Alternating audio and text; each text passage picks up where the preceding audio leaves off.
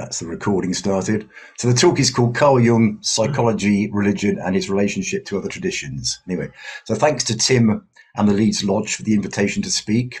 As it's turned out, there is an interesting continuity in that two weeks ago we were discussing the possibility of a new reformation for Christianity.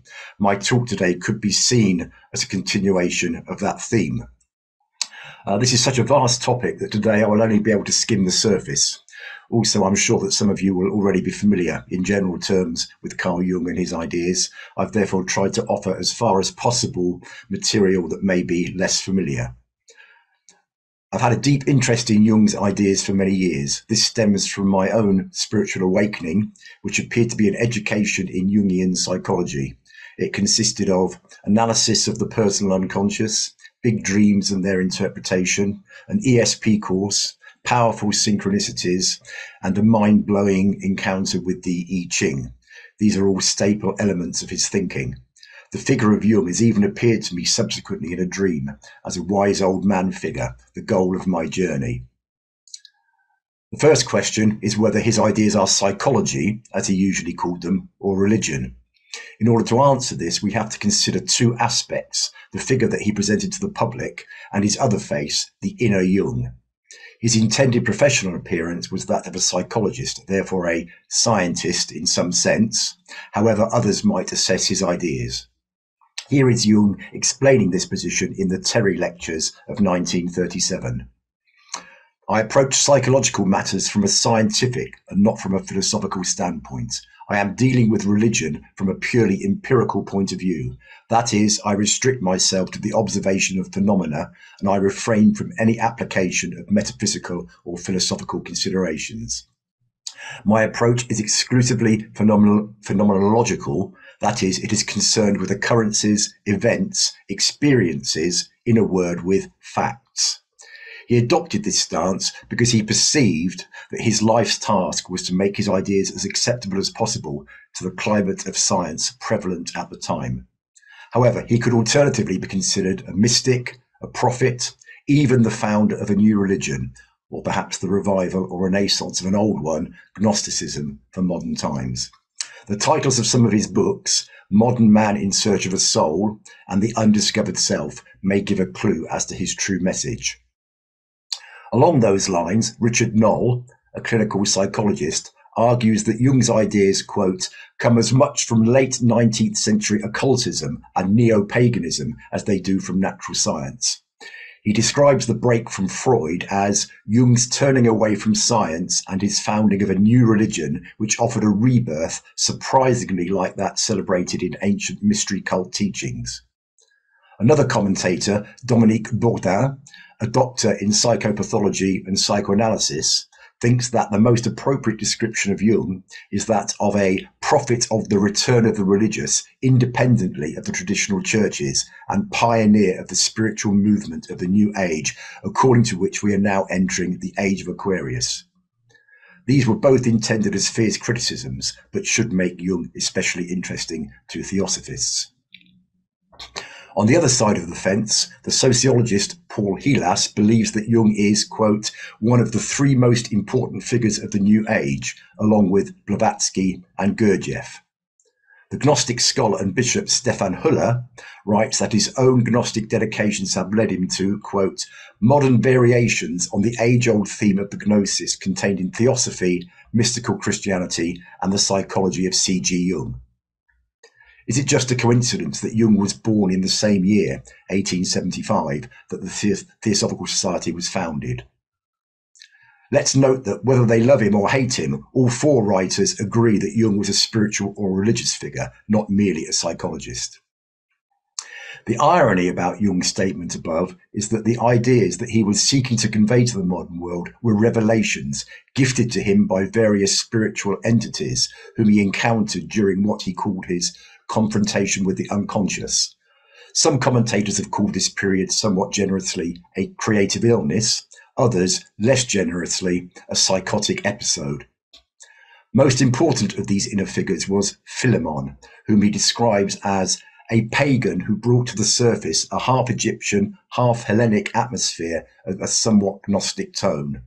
Philemon, as well as other characters in my imagination, brought me the decisive knowledge that there are things in the soul which are not made by the self, but which are done by them who have a life of their own. He was for me a mysterious character. Every now and then I felt like he was physically real. I walked with him in the garden, and he was what the Indians call a guru to me. However, as the authority on Jung, Peter Kingsley, says, when Jung came to face the next challenge of handing on this gift to the world of humans, he realized he would never get very far if he offered it as something given to him by an imaginary being. So he presented it instead in a language that was bound to reinsure and impress the language of science. On that theme, as an aside, one modern definition of the word psychology is the science of the human mind. Following the original Greek, however, it should mean the study of the psyche. Some of the original meanings of this word were the soul, spirit, the invisible, animating principle or entity which occupies and directs the physical body. That's quite a difference. If only in modern times we could still define psychology as the study of the soul. Perhaps Jung was alone in re- retaining the old definition. The extent to which he wished to keep these two aspects of his life separate can be seen from his determination to keep two of his books away from the public eye. Firstly, the Red Book, which was his, his account of this confrontation with the unconscious. This was eventually published in 2009, nearly 50 years after his death. Secondly, the Seven Sermons to the Dead, which he only allowed to be circulated among a few close friends and colleagues. The circumstances accompanying the genesis of this book are extraordinary. That is the second of two especially important incidents in his life that he tells in Memories, Dreams, Reflections, his sort of autobiography. Following some conversations with Philemon, Jung says that, quote, in 1916, I felt an urge to give shape to something. I was compelled from within, as it were, to formulate and express what might have been said by Philemon. It began with a restlessness, but I did not know what it meant or what they wanted of me. His house then became haunted for a whole weekend. He says, The atmosphere was thick, believe me. Then I knew that something had to happen. The whole house was filled as if there was a crowd present, crammed full of spirits. As for myself, I was all aquiver with the question, For God's sake, what in the world is this? Then they cried out in chorus, We have come back from Jerusalem, where we found not what we sought. That is also the opening line of the Seven Sermons. Then it began to flow out of me, and in the course of three evenings the thing was written. As soon as I took up the pen, the whole ghostly assemblage evaporated. The room quieted and the atmosphere cleared. The haunting was over. And here is the other significant incident. He says that one day, having come out of school, while looking at the local cathedral, he felt that something terrible was about to emerge into his consciousness, something appalling and blasphemous that he did not want to allow. He tormented himself for three days, then eventually gathered all his courage and let the thought come. The essence of the vision was that he saw God defecating onto the cathedral, which broke its walls asunder. He says that allowing this was a great relief. It was as though I had experienced an illumination. Why was it specifically Jung and no one else having this vision? My assumption is that it was because it was, it was his life's mission to bring the true teachings back to life, to life to revive the church. According to the vision, God considered the cathedral, no matter how glorious and beautiful it appeared, to be something of a waste product. It was up to Jung to come up with a religion satisfactory to God. We therefore have the same theme as in the first incident. There is a need for a religion, one which cannot be found in Jerusalem, which presumably refers to the Judeo Christian tradition, which is perceived to be devoid of true spirituality. In that context, the full title of the book is very important. It is The Seven Sermons to the Dead, written by Basilides in Alexandria, the city where the East toucheth the West. Jung appears to be saying that he is not the true author, that in effect he is channeling the spirit of an ancient Gnostic teacher who would have been considered a heretic by the Roman Church, from a city famous as a centre of learning and wisdom, also a city where East meets West, thus a potential synthesis of two different traditions. Or perhaps he is just being fanciful and merely pouring out his own thoughts. Whichever is the case, the text can be considered a Gnostic outpouring, and he was presumably writing what the spirits were demanding since the haunting stopped. Having written all that, I then became aware of the following quote. I do not know what sources he is referring to, but Jacques Mabie describes that incident thus. Jung entered a climax of this crisis by spending three nights secretly writing under this influence. His admirers speak of an ecstatic event and of a highly mystical writing. We can hear that he was indeed beside himself, but not by an ecstatic state of overcoming the ego, a kind of mystical rapture, rather a state of possession, at least partial, and in contact or channeling under the dictation of possessive, inspiring entities. As I explained, Jung was careful in his collected works to publish only on subject matter that he considered observable and real, and resisted metaphysical speculation. In this book, however, he lets himself off the leash and allows himself to write a short but complex metaphysical outpouring. For this reason, he never wanted it to be made available to anyone outside his close circle during his lifetime, and regretted it when this happened without his permission. At some later point, there was a public row with the theologian Martin Buber, who openly accused him of being a Gnostic, which at the time he vehemently denied. However, according to his leading disciple, Marie Louise von Franz, he never regretted the content. Peter Kingsley elaborates, saying that even though Jung would do anything to cover his Gnostic tracks, his true opinion of the Seven Sermons was, quote, something altogether wonderful, embodying a wisdom so much superior to my dull conscious mind, as a very special gift to him from the unconscious, a unique source of light and hope, the formal beginning of everything that would really matter to him, because through it he managed to express themes which would remain of the gravest importance to him for the rest of his work and the rest of his life. These two incidents, even though one is a vision and the other is distinctly paranormal, are strong indications that Jung was onto something special. In addition to his being given the task of bringing forward a religion satisfactory to God, this religion might well have close affinities with ancient Gnosticism, perhaps what Christianity might have become if it had been allowed to survive. I'll turn now to Jung's relationship to other religions, beginning with Christianity. He wrote much about it and seemed to treat it as one of his clients in need of therapy, in need of healing through a new reformation. On that theme, John Dourley says that Jung sought to give new life and relevance to what had often become dead dogma. Unsurprisingly, this attracted hostility from conventional Christians. Dourley therefore concludes that Jung could be, quote, hailed as a great apologist for Christianity, but also one of its greatest heretics. It is therefore somewhat synchronistic that I've ended up giving this talk on Easter Sunday, the day when Christianity celebrates the resurrection. And as I said earlier, another coincidence is that in the last talk two weeks ago, we were talking about a revival of Christianity in a new form. So, what is wrong with the Christianity that has been the foundation of Western society for 2,000 years that necessitated those two incidents I've described? One obvious point is that, like other organized religions, Christianity, at least in its exoteric forms, lacks true spirituality, the search for the divine within us.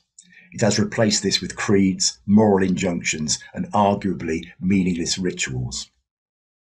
Thus, Julia Jewett, a feminist Jungian writer, refers to, quote, the reality that at one time religion was an experience of the divine energy, and the accompanying reality that that experience gets codified, dogmatized, and institutionalized. If we would be in touch with living religion, such as that offered by Jung is implied, with the still pulsing life energy, we must go inside, turns ego's attention toward the self in order to reconnect to our source.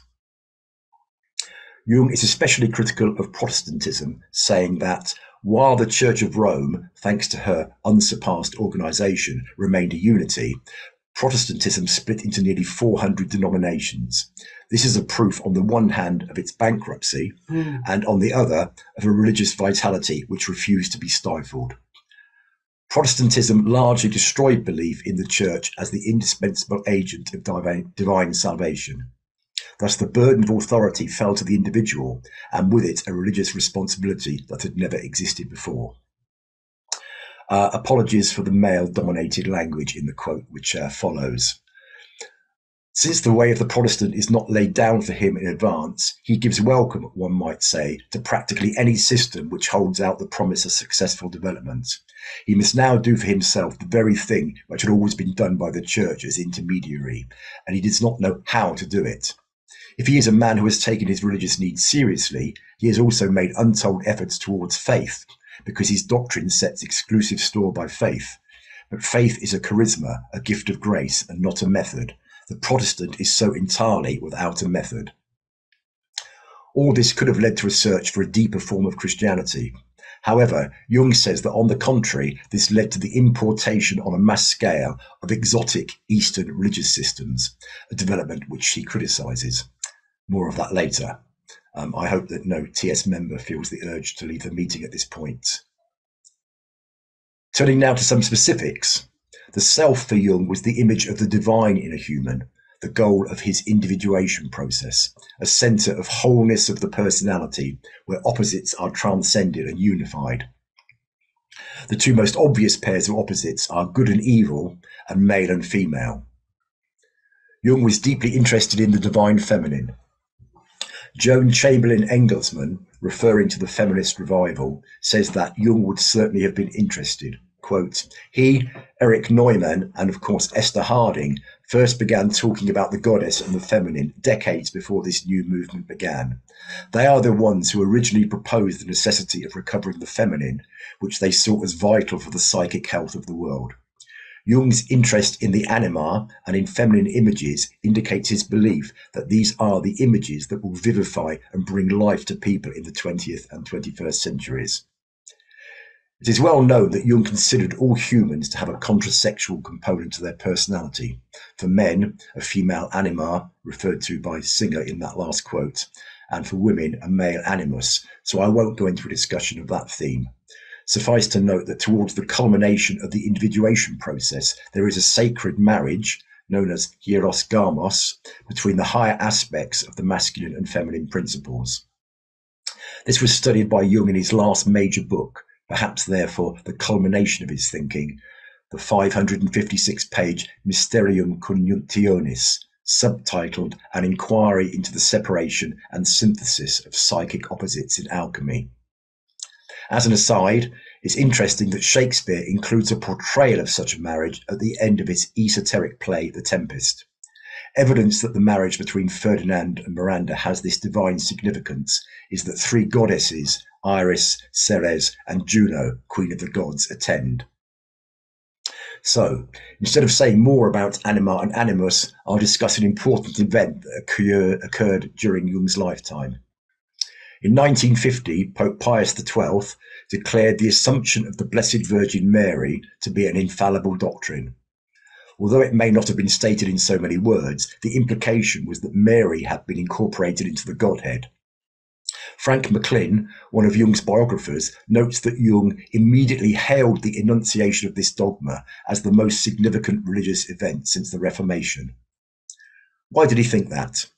To put it in simple Jungian terms, he presumably did not believe that Mary was divine, rather that the Catholic Church had acceded to the demands of the collective unconscious by adding a long neglected feminine aspect to the masculine trinity, which therefore turned into a quaternity. The assumption therefore satisfied a deep unconscious need. McLynn goes on to say that, quote, the fact that Mary was now a goddess seemed to Jung to pose theological problems overlooked by the papal advisers, and that, quote, the assumption was really the Christian version of the hieros gamos, or sacred marriage. Jung had always thought that four was the true mystical number, the symbol of wholeness and completion. Christianity's Trinity was therefore by definition incomplete. As McLynn says, Jung thought that the dogma of the Assumption clinched the case for four as the mystical number, since it meant that the Catholic Church had tacitly abandoned the Trinity in favour of a quaternity.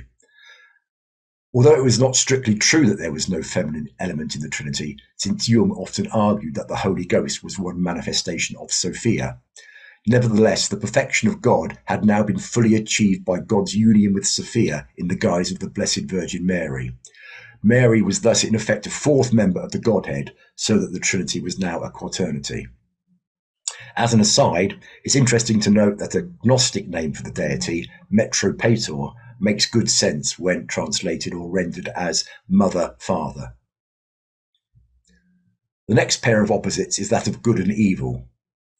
The existence of evil has always been a problem for Christianity because of its belief that God is purely good, sometimes called the summum bonum. It therefore attributes evil to the devil or humanity's fall because of original sin. Thus, in the New Testament, the first epistle of John says, quote, God is light, and in him there is no darkness at all. We can find similar statements among the early church fathers. If, however, we conceive God rather as a ground of being, a oneness, which is the source of everything that exists, then we, we are drawn to the conclusion that, like the masculine and feminine principles, both good and evil have their ultimate source in that original oneness the existence of what we call evil in the world might be a necessary aspect of creation, as the opposites separate in the process of manifestation. In the Old Testament, we have both points of view expressed. Deuteronomy says, Our God is the rock, his work is perfect, and all his ways are just. A faithful God without deceit, just and upright is he, yet his degenerate children have dealt falsely with him, a perverse and crooked generation. However, in Isaiah we find, quote, I am the Lord and there is no other. I form light and I create darkness. I make weal, which is an old fashioned word for well being, and create woe. I, the Lord, do all these things.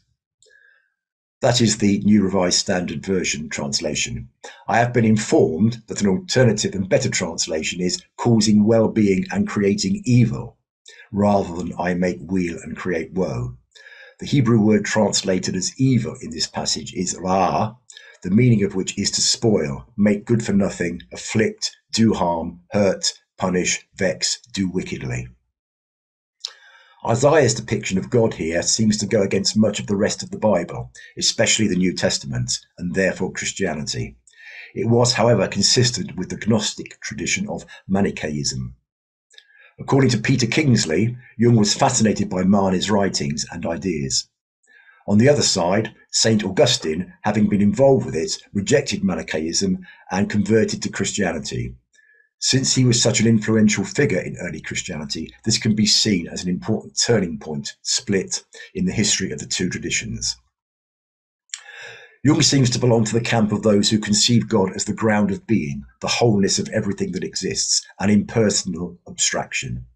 Following Basilides of Alexandria, he called this supreme divinity Abraxas, who, according to Jacques Mabie, quote, became for Jung the efficient principle, the supreme divinity, or the very notion of divinity, situated above Helios, the good, and the devil, the evil, neither good nor bad, the guiding principle of the process of individuation, which is the name Jung gives to his spiritual path.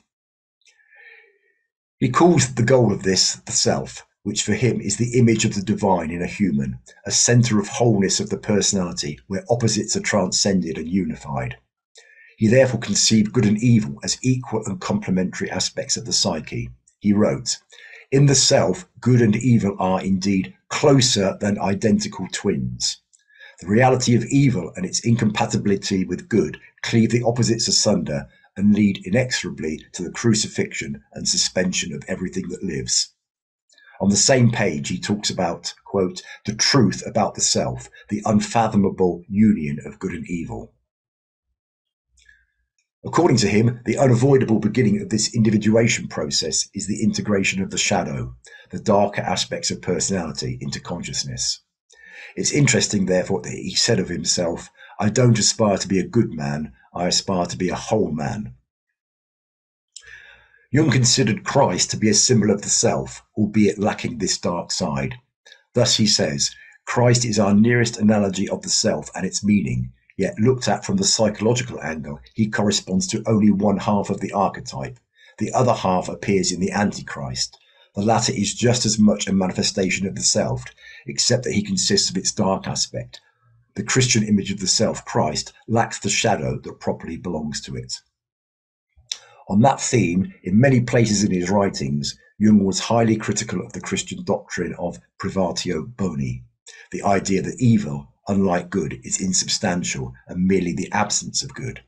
He quotes several prominent church fathers and says that this nullifies the reality of evil. Jungian writer Karin Dunn says that, psychologically speaking, the doctrine of privatio boni, quote, leads us to downplay evil as a non-being, which gives man the perfect excuse to avoid taking his shadow or dark side seriously.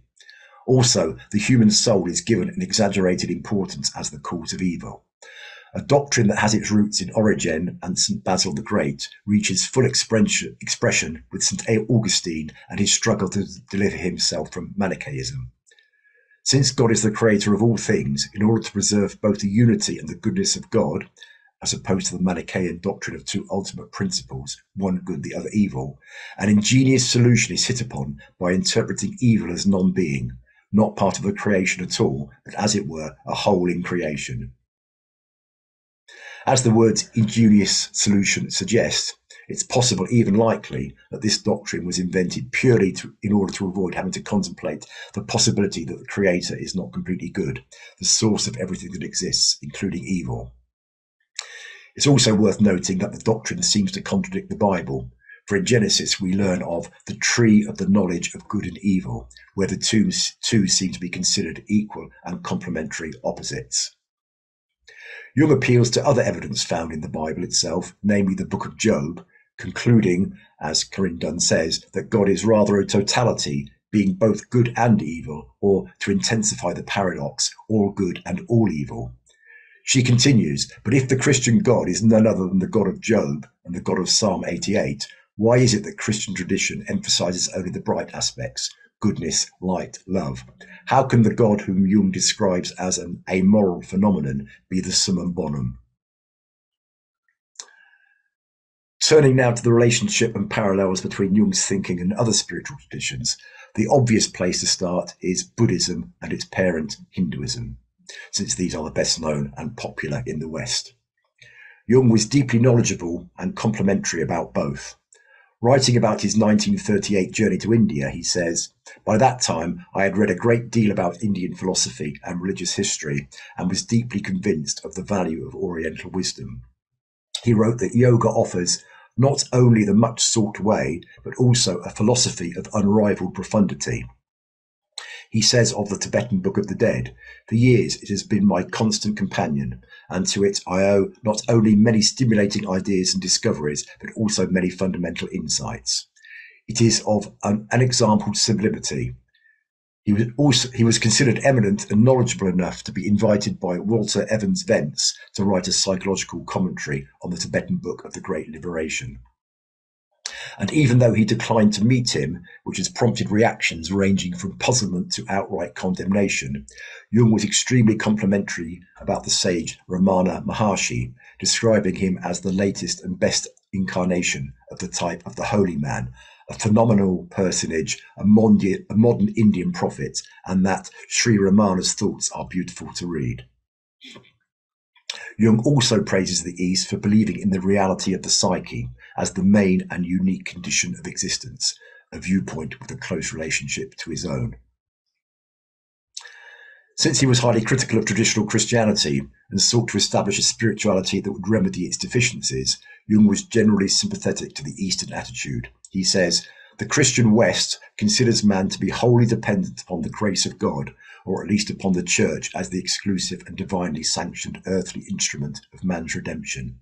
The East, however, insists that man is the sole cause of his higher development, for it believes in self liberation. There is an obvious parallel here with the individuation process he advocated, since that is an inner search for personal illumination without reliance on any external authority although of course one may need the assistance of a guru or analyst. Despite all this, Jung thought that Westerners were not yet ready for this wisdom. He said, The philosophy of the East, although so vastly different from ours, could be an inestimable treasure for us too, but in order to possess it, we must first earn it. We must first earn it. If I remain so critically averse to yoga, it does not mean that I do not regard this spiritual achievement of the East as one of the greatest things the human mind has ever created. I hope my exposition makes it sufficiently clear that my criticism is directed solely against the application of yoga to the peoples of the West. The spiritual development of the West has been along entirely different lines from that of the East and has therefore produced conditions which are the most unfavorable soil one can think of for the application of yoga. As noted above, he attributes the importation on a mass scale of exotic Eastern religious systems to the bankruptcy of Protestantism, concluding correctly, therefore, that this is a late development in the West. Meditation and yoga are, on the contrary, traditions in the East going back many centuries. Jung believed that the West was not ready for such sophisticated practices and has more pressing psychological needs given its general unconsciousness and lack of self awareness. The wisdom of the East was therefore, quote, a warning message to a humanity which threatens to lose itself in unconsciousness and anarchy. He also talks about Western civilization's barbarous one sidedness. In simple terms, there is a lot of catching up to do. He says, in the East, where these ideas and practices originated, and where an un- uninterrupted tradition extending over some 4,000 years has created the necessary spiritual conditions, Yoga is, as I can readily believe, the perfect and appropriate method of fusing body and mind together so that they form a unity that can hardly be doubted. They thus create a psychological disposition which makes, makes possible intuitions that transcend consciousness. However, the split in the Western mind makes it impossible at the outset for the intentions of yoga to be realized in any adequate way it becomes either a strictly religious matter or else a physical discipline, and not a trace is to be found of the unity and wholeness of nature which is characteristic of yoga. The Indian can forget neither the body nor the mind, while the European is always forgetting either the one or the other. The Indian not only knows his own nature, but he knows also how much of him he himself is nature. The European, on the other hand, has a science of nature and knows astonishingly little of his own nature, the nature within him. The European has become so far removed from his roots that his mind has finally split into faith and knowledge. His task is to find the natural man again. What, therefore, is the alternative? What are the significant differences between Jung's spiritual path of individuation and the East, especially Buddhism? It's possible to find some parallels. Here, Robert E. Ryan outlines what he perceives these to be. Jung is detailing the anatomy of modern despair, and meaninglessness, which he had encountered in his patients. Somewhat like the Buddha, he determines that there is suffering, that suffering has a cause, and that the cause can be overcome. Unlike many schools of Eastern or more ancient thought, he finds that this cause is itself a structure of consciousness. Thus, for both, the ego is perceived to be the problem, and the goal is the transformation of consciousness. That only takes us so far, however, because differences then begin to emerge. In Buddhism, the ego personality is considered non existent, illusion that we must rid ourselves of. For Jung, however, the ego is an outward, limited, false personality called the persona, which is an obstacle that prevents us from realizing our true self, our wholeness, our deeper, unique personality. The goal of Hinduism and Buddhism would seem to be the same for each individual Everyone is seeking through spiritual practice the experience of enlightenment, samadhi, moksha, a state of pure consciousness which has dissolved the ego and is free of any trace of personality, one's apparent separate identity. I assume, therefore, that this is an identical experience for anyone who achieves it. On the other hand, the goal of Jung's spiritual path, which he calls the individuation process, is that each person expands their consciousness in order to become the unique, unique individual that they are. Jung encouraged his clients to choose to suffer consciously in order to lead to this higher level of existence. This is accompanied by a discovery of one's own purpose or mission in life. There is presumably less importance attached to this in Buddhism and in Hinduism, which consider the material level to be the illusion of Maya or Lila, divine play. According to Jung, however, we can find meaning and value by living in a way that is authentic to us, guided by the self. We find our own way rather than living according to someone else's values or ideas. Thus, of himself, he says that during his visit to India, he was, quote, in search of myself, of the truth peculiar to myself. Elsewhere, he said, I must shape my life out of myself, out of what my inner being tells me, or what nature brings to me. Here we see that he believed in his own personal truth, guided by the wisdom of the unconscious, rather than follow the traditions of others.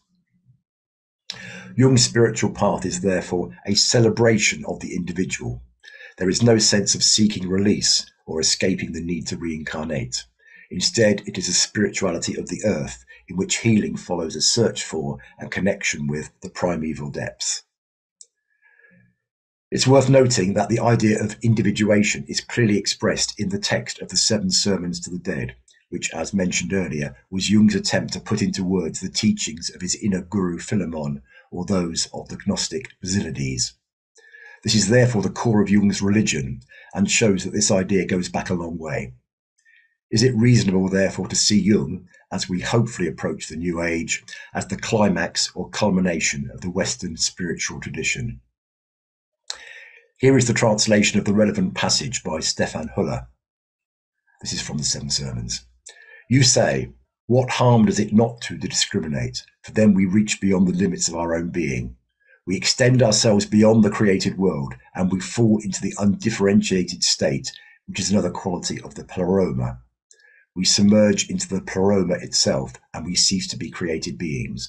Thus we become subject to dissolution and nothingness. Uh, the pleroma is a term in Gnosticism for the ultimate reality, which is both a nothingness and fullness. The quote continues Such is the very death of the created being. We die to the extent that we fail to discriminate. For this reason, the natural impulse of the created being is directed towards differentiation and toward the struggle against the ancient pernicious state of sameness.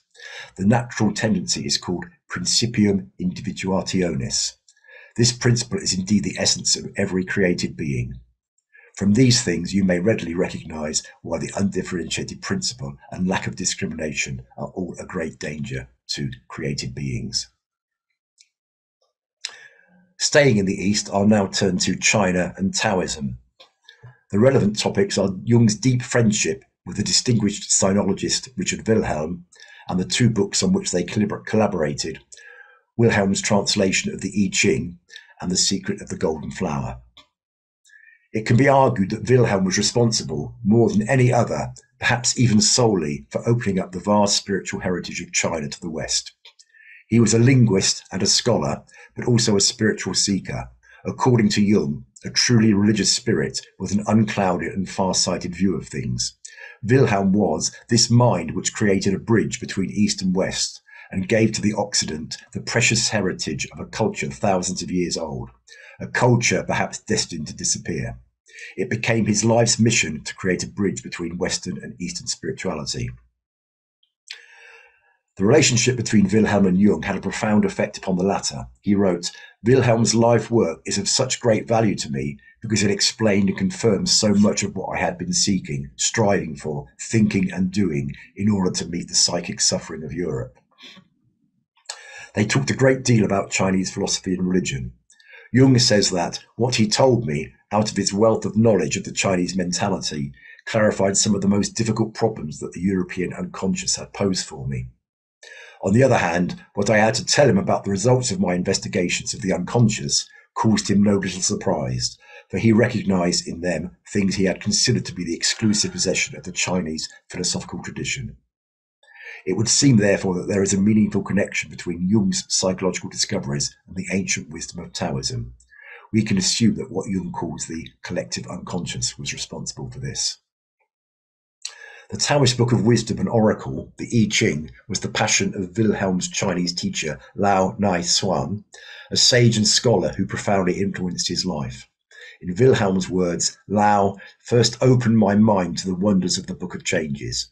Under his experienced guidance, I wandered in trance through this strange yet familiar world. Lao was an adept at Chinese yoga and psychological methods from the Taoist tradition. He realized that China's isolation from the rest of the world had to end, so that for the first time, the deep spiritual tradition of China was shared with the European. It would seem that his life's mission was to reveal the secrets of Chinese spirituality to the West, and that it was Wilhelm's mission to communicate them, thereby creating a bridge between Eastern and Western spirituality. I suggest, therefore, that this was one of the most important relationships of recent times for humanity in general. Jung says Wilhelm fulfilled his mission in the highest sense of the word. Not only did he make accessible to us the past treasures of the Chinese mind, but as I have pointed out, he brought with him its spiritual root, the root that has remained alive all these thousands of years and planted it in the soil of Europe. Together, Lao and Wilhelm translated the I Ching from Chinese into German, a task which continued for 10 years. Jung notes, when the last page of the translation was finished and the first printer's proofs were coming in, the old master Lao Naishuan died. It would seem that his mission had been completed. Jung's foreword to the I Ching is very interesting and worth reading. It does not add much to today's theme, however, except to note his attempts to explain the mystery of the great power of this oracle, where meaningful answers are the rule. He rejects the traditional Chinese explanation that spiritual agencies are at work, acting in a mysterious way, and that the book is considered a sort of animated being.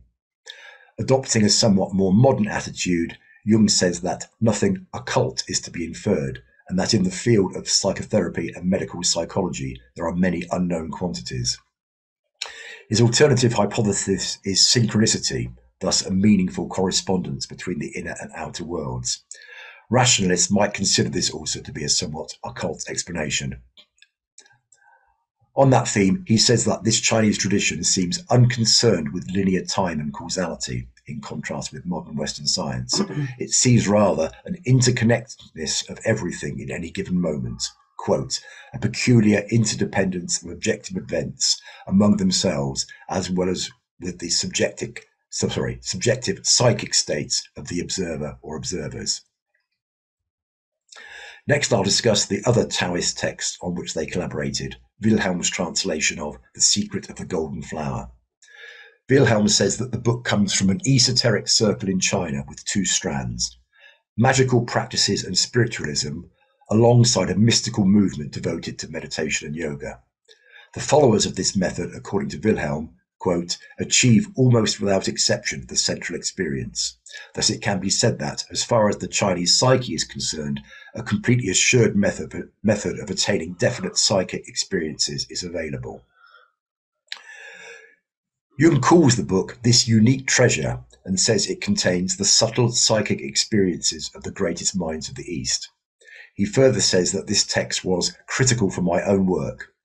I had been occupied with the investigation of the processes of the collective unconscious since the year 1913 and had obtained results that seemed to me questionable in more than one respect. My results, based on 15 years of effort, seemed inconclusive because no possible comparison offered itself I knew of no realm of human experience with which I might have backed up my findings with some degree of assurance.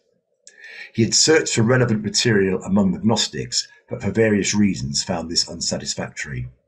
Then, the text that Wilhelm sent me helped me out of this embarrassment. It contained exactly those pieces which I had sought for in vain among the Gnostics.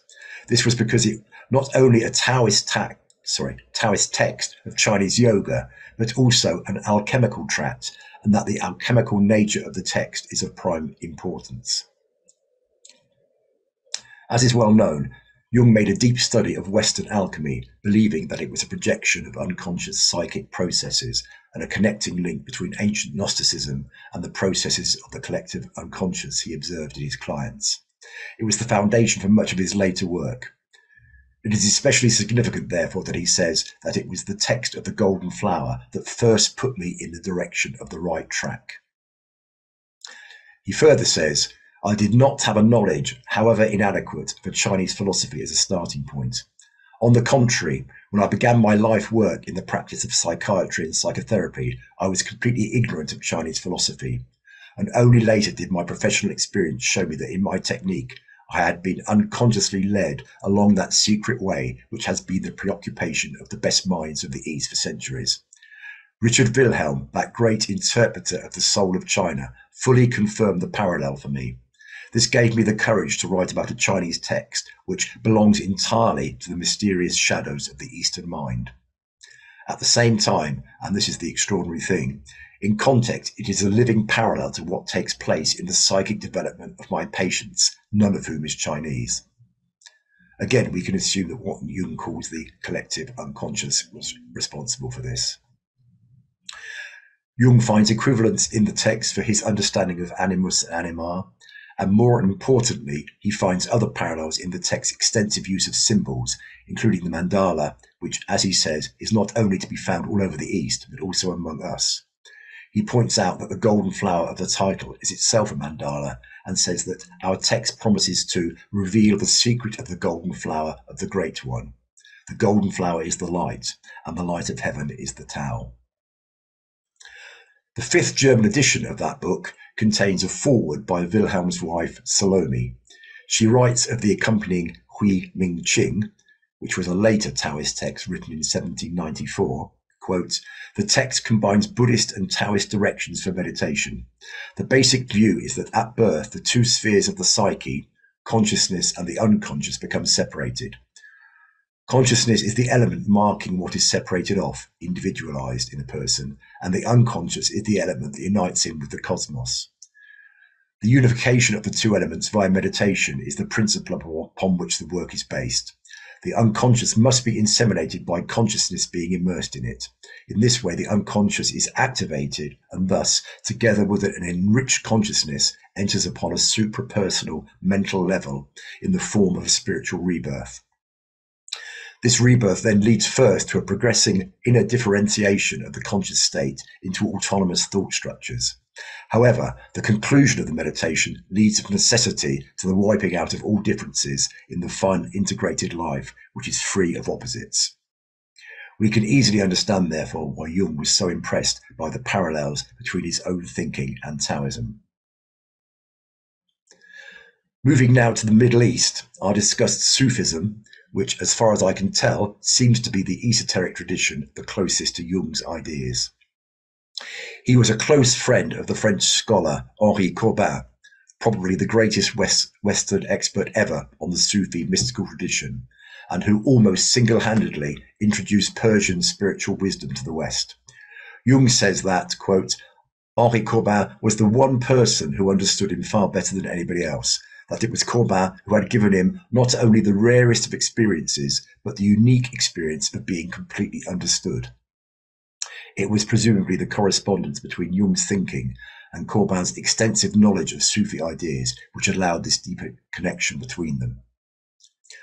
A relevant question for today's talk, which Sufism addresses, is how real were Jung's visionary experiences, especially those described in the Red Book? Were they in any sense objectively real, or were they illusions, hallucinations, madness, as modern psychiatrists might and do sometimes claim? The most important teaching of Philemon, Jung's inner guru, was psychic objectivity, the reality of the psyche. Jung says, he said, I treated thoughts as if I generated them myself, but in his view, thoughts were like animals in the forest, or people in a room, or birds in the air, and added, if you should see people in a room, you would not think that you had made those people, or that you were responsible for them. In his book Alone with the Alone, Corbin describes the view of the Sufi mystics on this issue. He talks about a universe endowed with a perfectly objective existence and perceived precisely through the imagination. Okay, I'm going to go a bit slower on this bit because this is really important. This is a quote The world is objectively and actually threefold.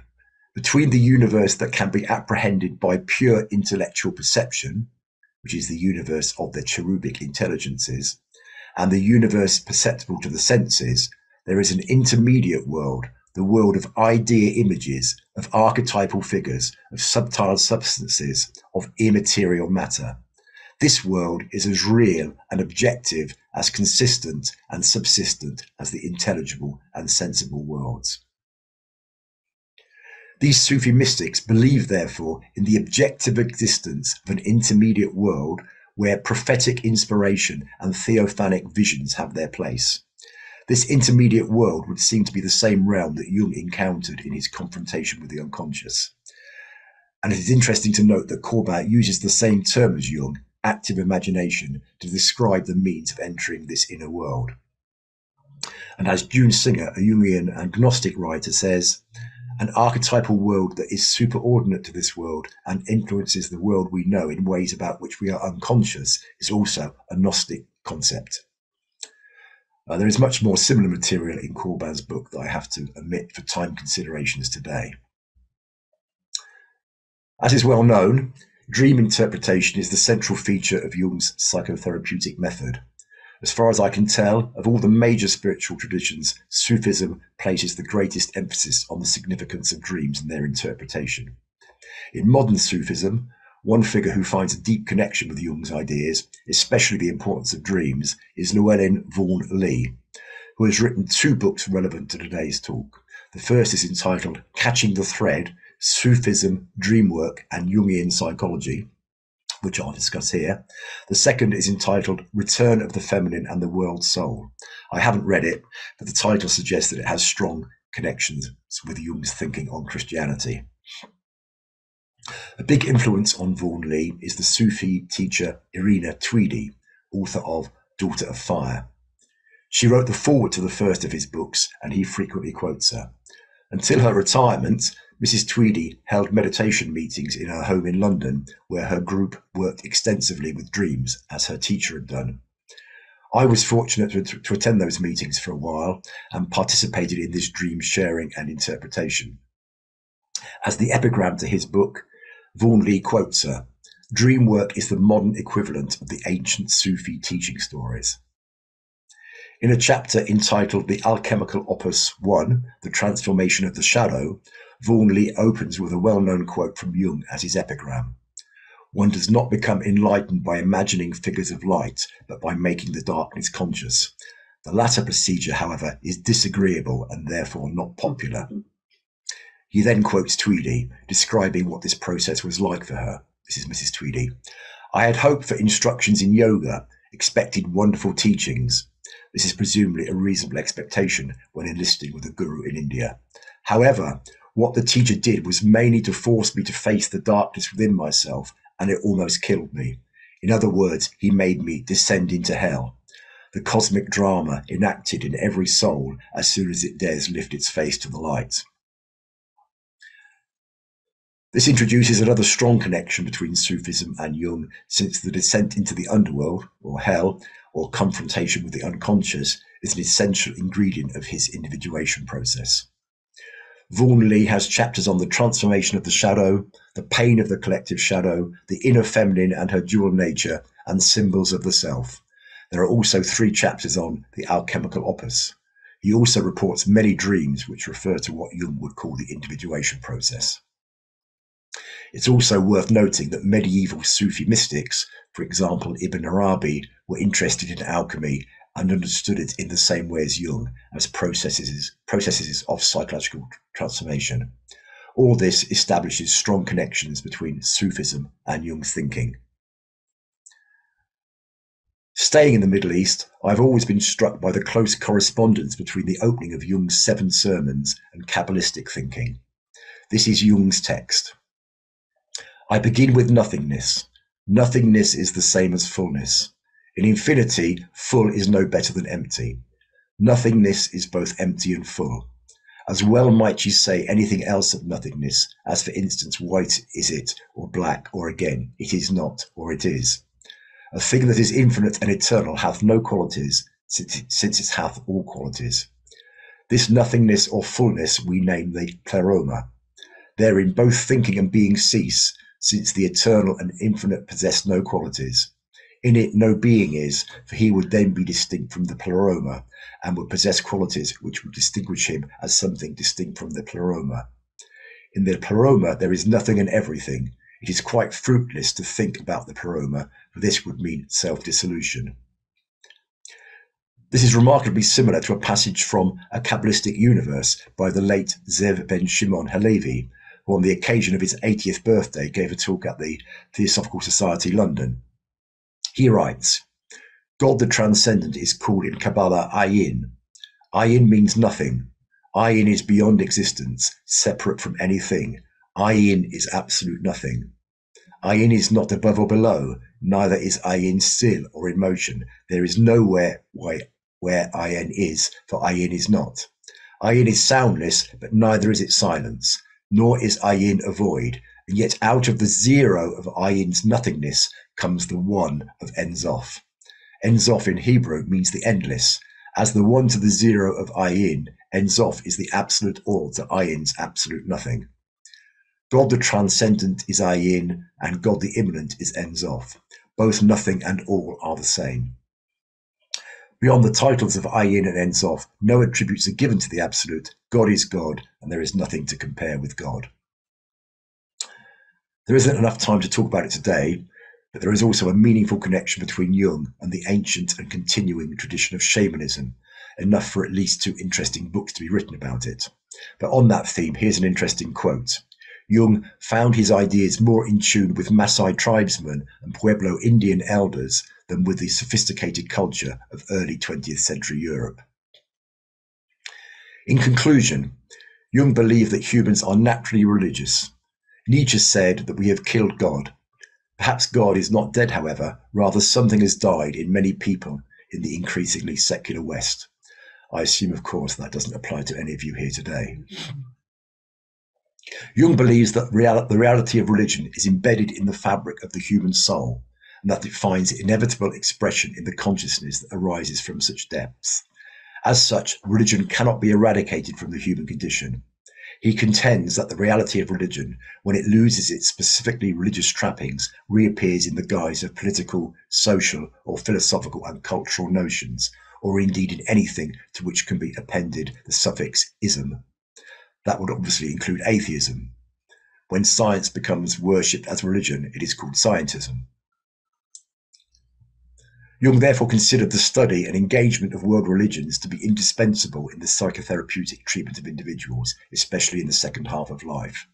He has been described as a master of finding common ground in the major spiritual traditions of the world. I hope that I have persuaded you all of that today. Here again is Stephan Hoeller, the thought of C.G. Jung is currently receiving an increasing amount of sympathetic interest in Western culture. A synthesis of human knowledge seldom before achieved by anyone discloses itself to those who seriously investigate the work bequeathed to us by this remarkable man. Beginning as a physician concerned with the welfare of the mind, he discovered in his patients and in his own soul the great truth of the reality of the psyche and he explored its phenomenology at a depth to which others did not dare venture. His systematic observation of the workings of the deepest strata of the human mind, in turn, enable him to cast his glints with singular insight in, into the great forces within human culture, myth, religion, art, philosophy, and literature. If we therefore consider the Theosophical Society's second founding principle to encourage the study of comparative religion, philosophy, and science, I hope I have shown that it's hard to imagine a better example than Carl Jung. I'll end where I began with the ambiguity between psychology and religion. At a talk in New York in 1937, Jung said, People sometimes call me a religious leader. I am not that. I have no message, no mission. I attempt only to understand. We are philosophers in the old sense of the word, lovers of wisdom.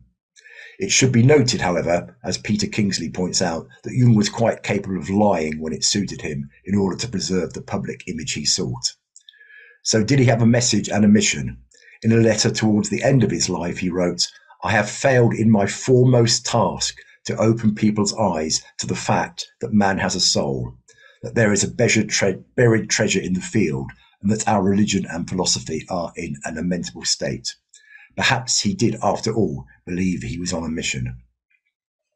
It is somewhat disconcerting and depressing to hear that Jung, after everything he had achieved, thought his life had been a failure. Fortunately, however, his legacy continues and grows. It is hopefully not too late. Our current generation may be able to fulfill his task for him. Um, that's sort of the, the end of the talk. There's just a little thing I'd like to read you. It's only one page from a book.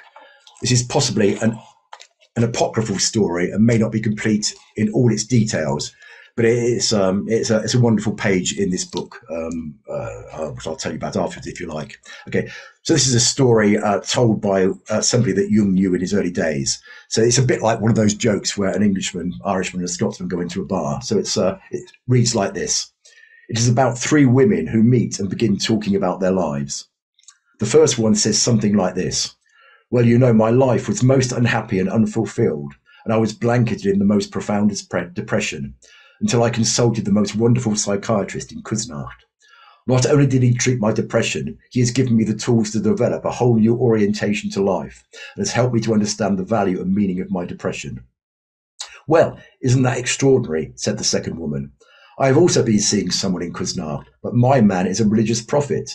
He has shown me a new way of looking at God and how I, as an individual, can connect with God and develop a profound and independent relationship with Him. I have found this has helped me immensely in my day to day life. This is quite unbelievable, exclaimed the third woman. Hmm. I have also been to Küsnacht, but I have been to see a mystical healer, a modern shaman, if I have ever met one.